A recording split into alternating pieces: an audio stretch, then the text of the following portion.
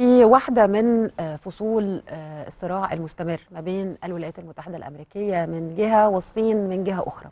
الجيش الأمريكي نفذ عملية لإسقاط منطاد صيني هذا المنطاد اللي فضل لعدد من الأيام بيحلق فوق سماء الولايات المتحدة الأمريكية.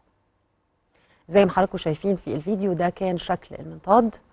اللي كان موجود كما قالت الولايات المتحدة الأمريكية فوق أراضيها واستمر كمان ده لعدد من الأيام. وزير الدفاع آه، الأمريكي قال أنه هذا المنطاد لم يكن مرتبطا بالأرصاد الجوية. دي الحجة أو ده بررت به الصين وجود هذا المنطاد في هذه المنطقة. لكن وزير آه، الدفاع الأمريكي نفى وقال أنه هذا المنطاد أرادت به الصين التجسس على الولايات المتحدة الأمريكية وخاصة أنه هذا المنطاد كان موجود في مناطق أو مواقع عسكرية حساسة. ده على حد تعبير وزير الدفاع الأمريكي. وأنه الصين بتستخدم هذا المنطاد في عمليات التجسس وده مش بيحصل بس في الولايات المتحدة الأمريكية كما قال وزير الدفاع لأنه ده بيحصل في عدد من المناطق. على الجهة الأخرى الخارجية الصينية استنكرت إسقاط المنطاد لأنها وصفته بأنه منطاد مدني. وقالت أنه رد فعل الولايات المتحدة الأمريكية هو رد فعل مبالغ فيه وأنه بيعد كمان انتهاك خطير للممارسات الدولية. هي نعرف إيه القصة من الأستاذ مهدي عفيفي المحلل السياسي. أستاذ مهدي أهلا بحضرتك. أهلا بيك وبضيوفك الكرام. أستاذ مهدي بس خلينا نفرق الفرق إيه ما بين منطاد للتجسس ده اللي ادعته الولايات المتحدة الأمريكية ومنطاد مدني كما ادعت الصين. آه، اولا عشان نضع النقط على الحروف هو في بداية آه، وجود هذا المنطاد اعتذرت الصين على أن المنطاد دخل في الأجواء الأمريكية، المنطاد راح على ألاسكا على كندا وبعدين جاء على الولايات المتحدة الأمريكية. آه، الفارق بين أي آه، آه، معدة سواء كانت جوية أو تجسسية هي نوعية الأجهزة التي يجهز بها هذا المنطاد.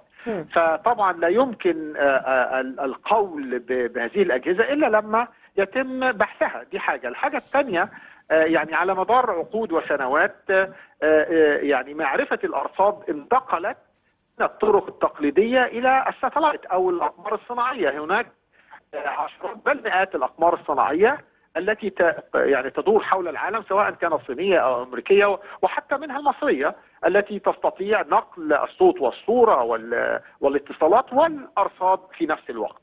فمسألة أن يكون منطاد يعني لنقل الأجواء ال- يعني الأحوال الجوية هي شيء يعني طبعا مستغرب في هذا الوقت. أيضا آه، كون أن الصين لا تستطيع التحكم فيه هذا أيضا آه، آه، أمر مستغرب به لأن من المعروف أن هناك رحلات آه، يقوم بها المناطيد وأيضا تقوم بها طائرات مسيرة وغير مسيرة آه، ويتم توجيهها ومعرفة أين تذهب بالضبط. آه، وجوده فوق الولايات المتحدة الأمريكية وخاصة مروره على صحراء نيفادا والتي فيها آه، مواقع عسكرية حساسة. هو الذي أدى إلى اشتعال آه، هذه الخلافات بين الولايات المتحدة الأمريكية والصين.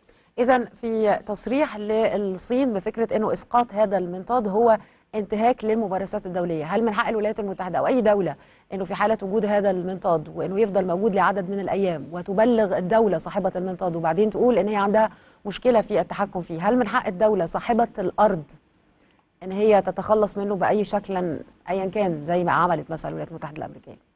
اولا الصين لم تبلغ الولايات المتحدة الأمريكية، الولايات المتحدة الأمريكية هي التي اكتشفت وجود المنطاد وتابعته من ألاسكا حتى دخل الأجواء الأمريكية، وألاسكا طبعا منطقة أمريكية برضه.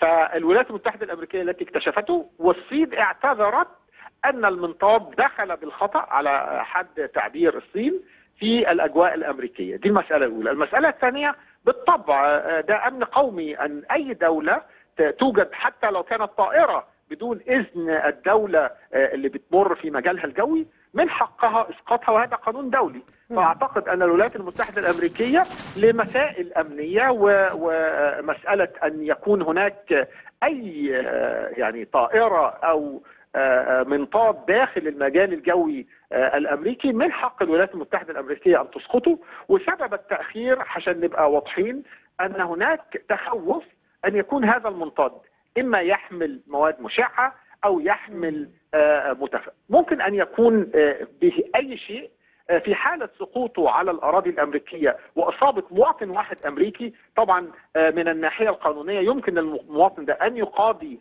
آه، الولايات المتحدة الأمريكية والجيش الأمريكي والإدارة الأمريكية. وفي نفس الوقت لتوخي الحذر تم إسقاط المنطاد في منطقة ضحلة.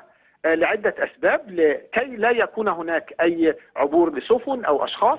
ثانيا لمحاولة الوصول إلى كل الأجهزة التي كان مجهز بها هذا المنطاد لمعرفة إذا كان فعلا هذا المنطاد آه، يستخدم للأغراض المدنية أو للأغراض العسكرية أو التجسس. هل ولذلك آه ه- هل ما قاله ال- ال- وزير الدفاع الأمريكي هل ده آه، بينفي فكرة إن هذا المنطاد كان مدني كما ادعت الصين وإن هو كان بالفعل للتجسس لأنه المفروض أنه تم فحص هذا المنطاد ولا ما زال مبكر آه، الحديث ال- يعني القطع بماهية هذا المنطاد.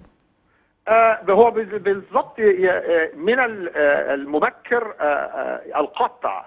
لكن هو يعني الأقاويل أنه من غير المعقول استخدام المناطيد في عصرنا الحالي لمعرفة الأجواء الجوية يعني دي آه، لم نسمع بها منذ عشرات السنين. فلذلك كان آه، آه، التكهن بأكثر آه، من شيء أن تكون هذه محاولة من الصين لاستفزاز الولايات المتحدة الأمريكية نظرا لما تقوم به الولايات المتحدة آه، في آه، تايوان وفي بحر الصين. آه، لذلك آه، يعني يتوقع الكثيرين أن تكون هذه محاولة من الصين لاستفزاز الولايات المتحدة الأمريكية. ولا يمكن معرفة آه، تفاصيل آه، ماذا آه، يحتوي هذا المنطاد أو الأجهزة به إلا بعد فحصها من آه، آه، المؤسسات الأمنية في الولايات المتحدة. ربما تنجر الولايات المتحدة الأمريكية إلى هذا الاستفزاز لكن هل ده ممكن يكتب فصل آه، جديد في فكرة ال- الخلافات والمنازعات الباردة في بعض الوقت والساخنة في أوقات أخرى ما بين الصين والولايات المتحدة؟ لا أعتقد أن آه، يعني أنا أسميها دايما اللعب مع الكبار. آه، في قوة مثل الصين والولايات المتحدة الأمريكية الحسابات تختلف قلبا وقالبا عن التعامل مع دول أخرى.